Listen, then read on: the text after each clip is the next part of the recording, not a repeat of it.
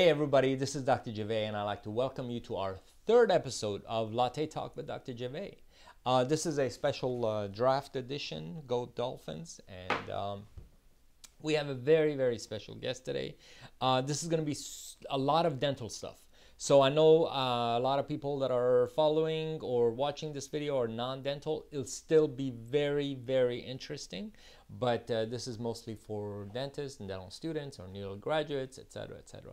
Uh, my special guest is Dr. John Cranham, who is one of my mentors, and I met a long time ago, um, and I have uh, learned so much stuff from him. Uh, we both went to the same school. He is the clinical director for the Dawson Academy. So you're going to hear and learn so much about the Dawson Academy today, uh, which is wonderful. And I want to say I will be interviewing uh, other people from other dental institutions and uh, I will be promoting them just the same way. We're all in this together in regards to dentistry. We're all trying to get better. We're all trying to teach each other. And this is what it's all about. So today is all about Dawson Academy and uh, they're, they're incredible, incredible institution here in uh, St. Pete and all over the country with lectures and everything that's going on.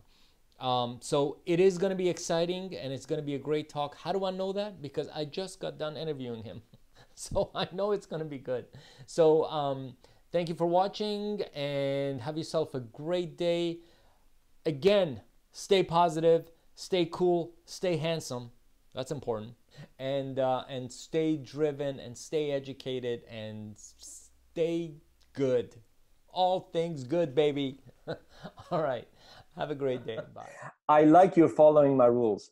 You have to have a latte to be on latte. You told me. I got my lake cup here. You know, it's like I have my uh, Tim Hortons cup from uh, oh Tim Hortons from Canada. My wife's Canadian, so we go visit uh, yeah. uh, in-laws. I was born in Canada, so I'm a huge Tim Hortons fan. I oh my gosh, double the I, caffeine, man. It's like rocket fuel, man. Well, the pro- the thing is, I think they put some kind of medicine or something in there. I think it's like addicted. It's like crack or something. but uh, anyhow, it's such a pleasure having you, and I really, really appreciate your time and doing this. I'm I'm really, really honored. Um, just a little note, and I and I I, uh, I know you're the clinical director for the Dawson Academy, and um, and you can tell me more, please, uh, as as we go along. But yeah, right, yeah. and um, I I recall uh, I, I, recall MCV, and as you know, we we both went there, and uh, mm-hmm. uh, it's amazing how things have changed over the years. When I go back uh, to visit, and uh, it's just crazy. It's, it's not, nothing well, looks now, the same. Like downtown Richmond, you know, all the dorms, all that stuff is gone. It's yeah, crazy. Yeah, yeah, yeah. So um, thanks for the opportunity. I wanted to talk about different aspects of of dentistry. And uh, first of all, I want I want to get get into how did you get involved in dentistry? How did you get involved in education?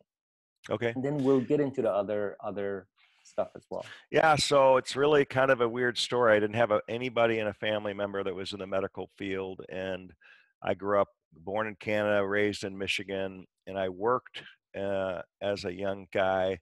Uh, at a little inland yacht club, I was the only employee. I taught the sailing and cut the grass and you know, painted the little clubhouse. There was no restaurant or anything. It was just a very simple place. And I loved the dentist there. I, I can't really tell you that the lawyers are all stressed out at the docks. I pulled off the lake when their beepers went off, and the dentists just seemed to have these great lives. And I also like to fly fish, tied my own flies, mm. And I sold them. I would tie all winter, and, and a lot of those dentists were my clients. And one of the dentists commented one day that if I could tie flies like this, I'd be a hell of a dentist. And that's how it got in, it got in my head. And they also seemed to have a lot of time to fish. So, so that was the other, the, the other part of it. But when I got to dental school, um, I had a relationship with a dentist that was part-time named Baxter Perkinson. And my mom had just moved to Virginia and needed a full mouth reconstruction. And when I was between my junior and senior year, he told me he would help me do it, but I had to read a book and he gave me Dr. Dawson's book, the first one, the, the kind of the gold one. Yep. And he used to come on Tuesday nights occasionally and lecture to us. And um, but I restored my mom's mouth, and that guy had such an impact on me. And then, of course, I went to see Dr. Dawson right out of dental school, and it just sort of lit a fire. And it wasn't. It was. I think what got me interested in it is I loved the documentation. I loved taking the photos. I loved learning at a really high level. But I wanted, I definitely wanted to make people feel like Dr. Dawson, Dr. Perkins had made me feel that there was mm-hmm. hope and possibilities. And it just was so inspiring. And so that's kind of what got me going. Uh, and then, you know, when I got it, I went through Dr. Dawson's first uh, series there. He just had three classes then. And I was fortunate that um, I he kind of took a, a, notice in me and invited me into a little study club that he had that was basically 19 doctors that were all kind of what I would call seasoned Dawson practices at the time. And he wanted to start up. And I had just bought my practice and I got invited to that group and we met quarterly for, you know, for five years. And he was studying sounds crazy, but he was studying happiness and fulfillment levels and he was studying productivity levels. And so we were utilizing a software program, again, which was unheard of at the time, but he was mm-hmm. looking at analytics. And that's really what got me. I think it took, it launched me because I was around some really fine dentists early. But what got me teaching was um, shortly after that, after going through Dawson, the aesthetic revolution was hitting hard at the time and it's amazing when you think about it because cosmetic dentistry and, and like occlusion based dentistry was diametrically opposed it was like the occlusion guys weren't really thinking adhesion worked and the adhesive guys thought the occlusion guys are a bunch of old you know has-beens mm-hmm. and i i went and saw you know dickerson and hornbrook and trinkner and all those guys at the time rosenthal nash and I realized that there was a void, and and I thought, well, I'm going to do that kind of dentistry on Dr. Dawson's Principles of Occlusion, and I developed a course called the Cosmetic Occlusal Connection, which I think you heard back in the day, and that's what got it going. I mean, mm-hmm. I, I was one of the first people that sort of integrated those concepts and of course now everybody you know it's you can't do beautiful dentistry without having some understanding of occlusion yes just a quick story on Dr. Uh, Dawson as well, and I really want to get into that if, if, if you don't mind. Um, Dr. Dawson, of course, this goes without saying. I mean, he's been such an inspiration to so many dentists. So when I was first starting, I was an associate, and the owner said, "You know, we got to get you some Dawson courses." I was a young dentist, and I went to and I went up and um, just a great course. It was just eye opening. You know, the first time you just don't hear things like this and uh, and at the end i was just a just graduate and i went up to him and i asked a question and they say there are no dumb questions i think i asked the dumbest question and he was so humble he was so nice and he was he explained it just one on one and he wouldn't mm-hmm. stop until i completely understand the concept. And one thing and i honestly I, I see that in you as well. You had some um, courses that you came to west palm beach and you had bunch of stuff uh, mounted casts for treatment planning and that was my thing. I said i wish somebody would sit down and show me how to treat implant cases.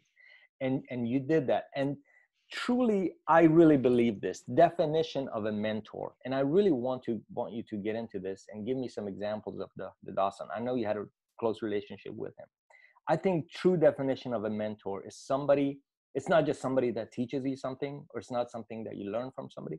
It's somebody that really wants you to succeed. Yeah. I, I somebody really, somebody who loves you, man. I mean exactly. Yeah, yeah, that's I, right. I, I, I really see that in him. I see that in you. And also, I was taking a course from uh, Dr. Finlay, Dr. Scott Finlay in AACD, and I could tell he really wants us to succeed. And it's part of it's definitely part of our culture, and it, it comes from Dr. Dawson. There isn't any question about it. And you're also going to find very, you know, one of the things that about him that just amazed, uh, consistently amazed me was, you know, he's arguably one of the most famous dentists on the planet in terms of just how long he's been doing it. I mean, he was an active educator for 65 years for Pete's sake. You know, I mean, mm-hmm. the textbooks and the videos, but all that stuff. And, you know, when we were the keynotes at the AACD, like in 2012, I think, and when it was in DC. And it was really cool because my daughter, who's in her last year of dental school now, at the time was a senior in high school, mm-hmm. and she was with me, and we were walking through the Gaylord, and and and Pete was with us, and of course everybody's heads snapping because they're realizing it's Dr. Dawson, and um, and he's just so humble. You know, he just didn't mm-hmm. really know. And we went to the little Ivoclar get together. And the guy's like, you know, we get in there and they have the name badges, and the guy goes, "Oh, Dr. Dawson, you know, you don't need a name badge." He goes, "Oh, no, no, I absolutely do. And he stuck his little little Pete, you know, he had to have his name badge because he didn't want to be different, you know. And so that night, I said to him, I we were at dinner, and the, the my my daughter and his granddaughter had walked away, and I said, Pete, I said, you know, I got to ask you something. He goes, uh, I said, how do you deal with the fame? Like, how do you deal with it? Like, how do you stay so humble? And he looks around the room. We're at this really nice restaurant in DC, and he goes, "Is it? Does anybody around here recognize me?" And I go, "No." And he goes, "John, there's no famous dentist. The sooner you get through that through your head, the better off we'll all be."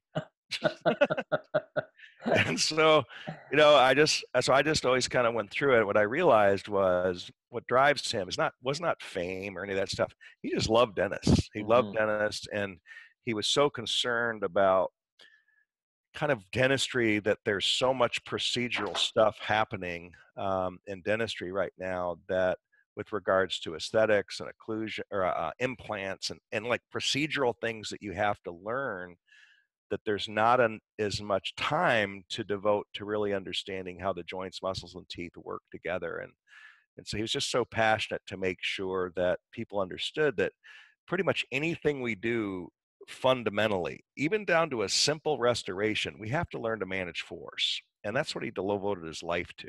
Mm-hmm. And uh, and so you know, it's fun for me to to adhere to the basic principles. You know, dentistry's evolved. We're talking about you know DSD and and all the digital cool digital things. We're doing st- tons of stuff with 3Shape.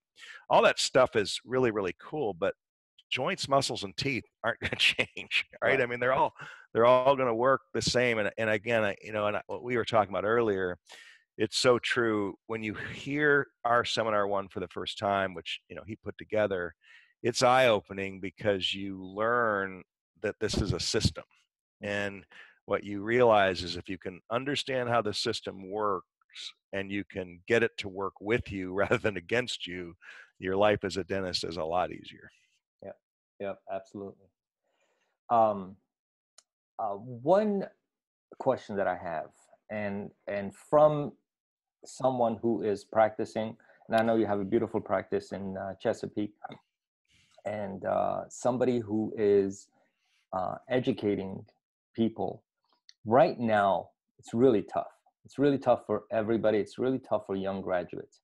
And i know you know personally speaking i irritate my wife because i cannot wait for mondays. I i just can't wait to come to work. It just i just have so much fun. And the more i learn the more I learn, first of all, the more I realize how much I don't know, and uh, it's a cliche, but it, but it, but it's true. But if you had an advice for a young dentist, uh, a young graduate or or dental student, I know you said you have a daughter in senior dental school right now. Um, what what what few advices would it be? Would you give? Well, the first thing is I, it has uh, been eye opening because I uh, my daughter Caitlin is a senior, and so I've spent a lot of time with obviously her, but also a lot of her friends at the University of Louisville and before that, I spent time at, at VCU. So I'm acutely aware of the number, uh, the basic number that a lot of these young people are coming out with. Mm-hmm. And, you know, when we got out, I, I owed about $130,000 coming out in 1988, and I had to pay it back in 10 years. And back then the loans were, you know, 17 to 18%. So I had to borrow the whole way. And that, that was a big number back then. Mm-hmm. I mean, so I'm, I'm aware, I'm aware of it to some degree. Uh, I do think now it's maybe a little bit scarier.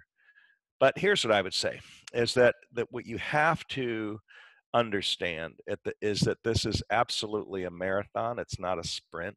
And so if you come out and you are so focused on trying to just make money to pay the debt and keep your head down and just work, work, work, work, work, you know, when you get out of dental school, you're just basically have the fundamental basics of how to do dentistry and maximum cuspation and kind of single teeth and maybe a three unit bridge and, and it and you've got to keep learning. I mean you've got to commit to that. And, and again you know you're a great example of talking about your excitement and you even said straight up what gets you excited is the fact that you're learning. And mm-hmm. the dentists that I see, they're the absolute happiest and have the most passion for dentistry are the ones that keep reinventing themselves. Uh, I started to place implants about three or four years ago, mm-hmm. and I, I planned them all and work with great specialists. And I don't do them all, but you know, if you look at my iWatch the day that I'm putting in implants, you know, I look at the end of the day and I'm like, oh, I was about 150 about two o'clock this afternoon, you know. So,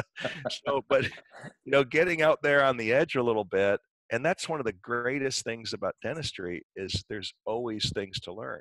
Now, yep. having said all that, be cautious of just learning different procedures. You you do have to base yourself on some fundamentals and certainly uh, at the academy we have the way to do that. There's other places where you can learn to, to learn a syst, syst, systematic approach to to handling more complex things. Mm-hmm. but understand leaving dental school you pretty much have just trained to learn in maximal cuspation when the occlusion is kind of okay.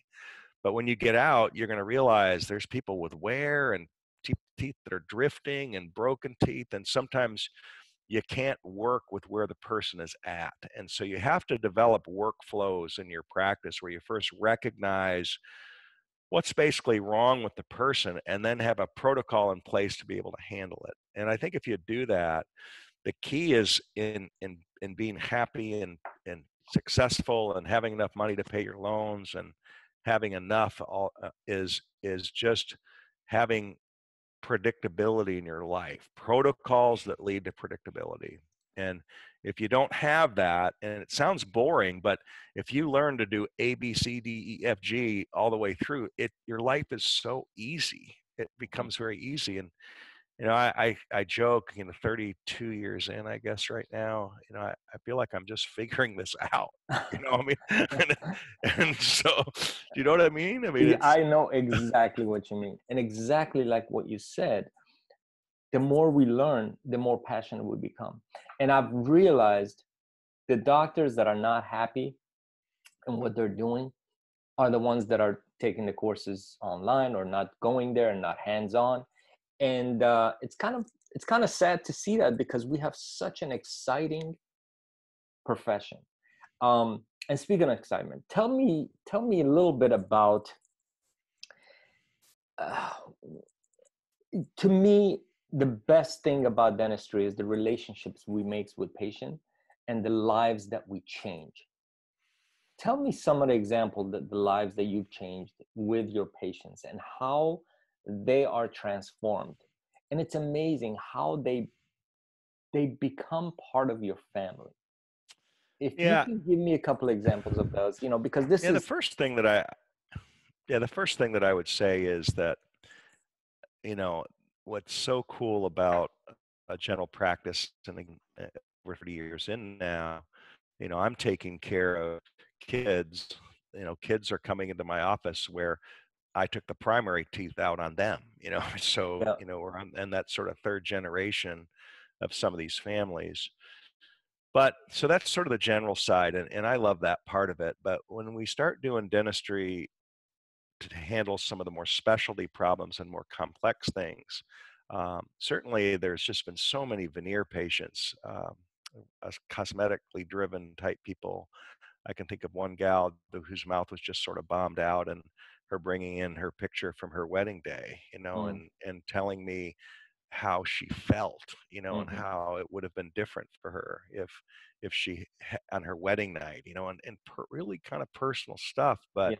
That's the kind of stuff that just kind of makes the hair stand up on your neck, and and now you know the number of people that I've seen that we've done the all on four, all on five, where the mouths are just bombed out, and yeah. and they just look like a train wreck where they come in and you know a few years later they've got their kind of cool hairstyle and leather jacket you know some of the guys that we've seen and And so, you know, it just kind of goes on and on. And then, and then the number of TMJ patients that, you know, were really close to suicide mm-hmm. that we've mm-hmm. been able to eliminate the pain. And so, what I want you know people to sort of f- realize is that you can develop these niches in your practice where you can you can do best in the world stuff whether it's aesthetics or implants and i don't even think you need it all but i i do think one of the most important things about a general dentist is first have that you know enjoy that general practice I, and i missed that for a long time it, for a long time i felt like if i was doing a do on a bicuspid that i was like a loser or something you know but but you know if you have a general practice and hygienist you, you're going to have nuts and bolts things to do and that's right. cool you know I, I, look at it as a little break now yeah. um, but there isn't any question that when you start doing the more advanced things uh, that's the stuff that is um, there just isn't i mean there isn't any amount of money that supplants that feeling of of doing something for somebody that does alter their life for their yeah. forever yeah. and that's really really cool it does and it's not it's really i can't compare it to anything else it's just we're so blessed and i, I say this to be able to um, do stuff like this one of the great advices that you gave me one time and i, I still remember uh, was to get together with our specialist and have a study club with the specialist and talk about the case. And it's so important to get the, uh, the well, orthodontist. Let me, let me do it. Let me do a shameless plug, if you will. So we just I, created. I wish you would. we just created a podcast called the Go To Dentist Podcast, and I actually just recorded it yesterday, and that and it's the third one we've done, but it's actually on creating the interdisciplinary team. So we talk mm-hmm. for about 25 minutes exactly how we organized that and scheduled it and um, and it, it is important and and again you know there isn't any question the trend is more towards doing more procedures in your general practice and that's great but i do think we have to recognize our limits and know when we need help and yes. and then when we need that help those people have to be on the same page with us they have to share the same philosophies and can execute the treatment uh, in a way where you being the quarterback have control of it so excellent. Um, one last thing and i know you're busy and i and, and i really enjoy courses and i do watch them. Um, my last question is um, you know right now it's tough. Right now we don't know what's going to happen. We don't know how we're going to return to work. There's a lot of unpredictable things but at the same time there's a lot of predictable things. We are going to go back to work and we're to we're to do this stuff and we need to continue to educate ourselves. But in general um, my final question is where do you see our profession in the future with all the stuff that's going on regarding um, dentistry regarding the business of dentistry and all that where do you see dentistry in the future well, let me just say two things about that so the first thing is, and I go back to Dr. Dawson, but one of the things that he always drilled into my head is if we do the right things for the right the, the reasons, things will turn out okay. We'll have enough. We'll, the, the money sort of will follow that, and I and I think we have to keep that in mind as we come back. Keep doing the right things for the right reasons. Um, the other thing he would say when I'd be stressed out about something, he would say, and this too will pass. You know, the, the wisdom of somebody that in his late 80s that just had seen so many scary times come, and this is going to pass. There's any question. Now, we may have different PPEs, we may have different guidelines, we don't know exactly what that is, but I still think this is the best time ever to be a dentist. And, and the mm-hmm. reason is, is you look at the baby boomer population aging. This is the first population that does not want to live life without teeth. So if they're losing their teeth, they want implants. Mm-hmm. They care about how they look, so they want their smiles to look good. We know more about occlusion and function than we've ever known. We have the best materials at any time in history, and we have the best trained laboratories and technology to go with this. So, so, but I do think this. I do think that the dentists that succeed in the future are going to be the dentists that can solve problems that most people can't mm-hmm. because the problems are just getting more complex and i think sadly a lot of the the um, the industry is rushing towards sort of volume and I would be I would caution against that. I, I would I would I would shoot for the people, the percentage of people that want so problems solved that maybe go beyond usual and customary because I think there's going to be plenty of those. And I think if you do that through good education, good training, and look at this as a marathon, not a sprint, I think we're going to be totally fine. And uh, this is the same message I give to my daughter, and I totally get it. It's stressful right now because, you know, for her, she was supposed to take boards last week. That didn't happen. You know, so mm. boards, finishing up requirements, licensure, all that stuff is kind of up in the air right now. So it's scary for those young dentists that are kind of waiting. But when you look back 20 years from now, it's probably going to be a speed bump. It's probably going to be a couple months one way or another. Uh, so you just have to kind of look at it from a big vision. And and in this time, what I would say, as long as it goes on, just try to stay a schedule. You know, get up in the morning, don't sleep in and sleep the day away. Get up, go for a walk, get some exercise, learn something every day, um, and just keep moving. Because if you just and and make God and God turn the news off, right? Don't don't don't watch the ticker tape. Go, you know. Uh, so I mean, if you do that, I think you just stay positive. And and and I, by the way, I, I totally appreciate you doing a show like this because it's needed right now. We need some positive things to look at. I, I, I really appreciate that. And everybody I've spoken to, they've been so generous and gracious and, and awesome. And I have some really cool stuff uh, lined up. I will, um, and I do this with any anyone from any institution that I do speak to. And I'm going to talk to different people in different institutions. I will um, uh, put the link for Dawson Academy. Uh, yeah, the, the yeah. One thing, one thing I will tell you all, and we announced this yesterday, is um, the entry level um, class that that uh, we spoke about earlier, functional occlusion. It's now called Functional Occlusion 2020 and beyond. It was completely revamped this year to look at our digital workflows and all.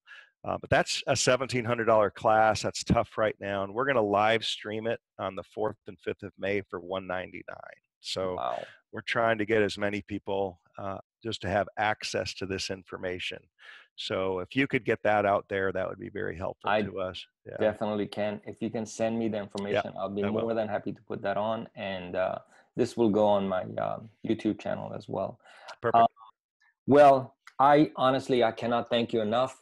I really appreciate it. And I really appreciate your your passion in dentistry and your passion in teaching others and like i said being a true mentor and to myself and so many others.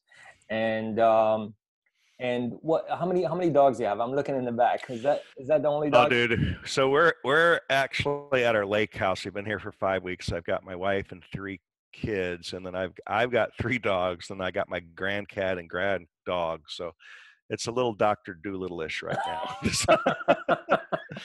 so, but we have nobody's killed each other yet, so it's no, no. You know, I, I do follow you on Instagram, and I see the lake and all of that. So you're having a you're having a good time, and thank you again for everything that you do. You are truly an inspiration, and and I really really appreciate it. So well, I, I, appreciate you too, and I remember you know meeting you all those years ago back in West Palm. We had some good times when I was coming down there. We really had fun, some yeah. fun.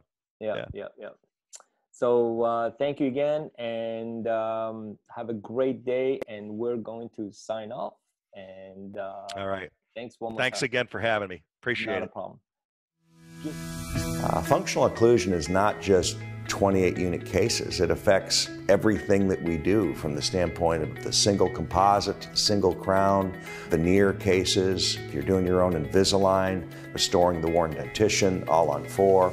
But what I'm most excited about is this transition to digital. Our workflows have been really the same for a very, very long time uh, as we got advanced records and took face bows and poured models and mounted in centric relation. And it's been a dream of mine for a very long time to be able to digitize that workflow. And usually utilizing lab software, we can now scan them out, have it mounted on a virtual instrument in minutes, and be able to visualize exactly the same things that we do on a regular instrument. Uh, we can't say that the stone age of dentistry is gone forever. Uh, there's still time to be working in an analog environment. But if you have interest in being able to do more long lasting, functionally correct dentistry, dentistry that's beautiful, dentistry that will solve your patient's problem, dentistry that will allow you to be the go to dentist in your community, functional occlusion is a class that will definitely get that done for you.